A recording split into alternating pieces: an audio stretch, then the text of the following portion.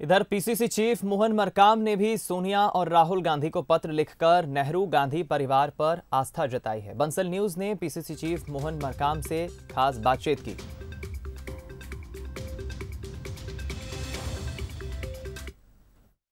CWC की आज बड़ी अहम बैठक होने वाली है। उससे पहले तेईस नेताओं ने, बड़े नेताओं ने खत लिखा है, फुल टाइम अध्यक्ष को लेकर, जिसके बाद एक सियासत शुरू हो गई है, सियासत गर्मा गई है कि आखिरकार क्या ये जो खत है, इसके मायने क्या हैं? पीसीसी अध्यक्ष मोहन मरकाम इस वक्त हमारे साथ है, जिन्होंने खुद सोनिया जी और राहुल गांधी को पत्र लिखा है। मोहन मरकाम जी, आपने पत्र लिखा है, क्या उस पत्र में आपने लिखा है, क्या बात कही है? तेईस नेताओं ने जो खत लिखा है उसके बाद। देश की सबसे पुरानी पार्टी, कांग्रेस पार्टी 135 साल पुरानी का जो राष्ट्रीय अध्यक्ष जो गांधी परिवार से होना चाहिए, हमने निवेदन किया है।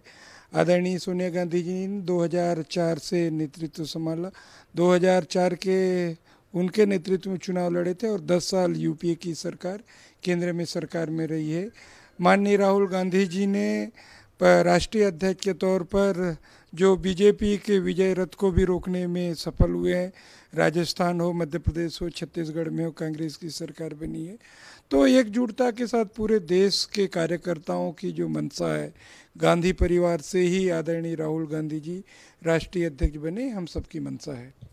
इस नेताओं ने जो खत लिखा है फुल टाइम अध्यक्ष की मांग की है क्या इसे बगावत के तौर पर देखा जाए? क्या उनकी मंशा है? आप लोग कैसे देख रहे हैं? नहीं देखिए हमारे जो नेताओं ने जो खत लिखा है उनका कहना था कि जी अभी हमारे राष्ट्रीय नेता राष्ट्रीय अध्यक्ष आदरणीय वहीं इधर छत्तीसगढ़ के स्वास्थ्य मंत्री टीएस सिंहदेव ने अध्यक्ष बनाए जाने को लेकर राहुल गांधी का समर्थन किया है। टीएस सिंहदेव ने राहुल गांधी के समर्थन में सोनिया गांधी को पत्र लिखकर राहुल को राष्ट्रीय अध्यक्ष बनाने का आग्रह किया है। बता दें आपको कि सीएम भूपेश बघेल भी राहुल का समर्थन कर चुके हैं एक दिन पहले।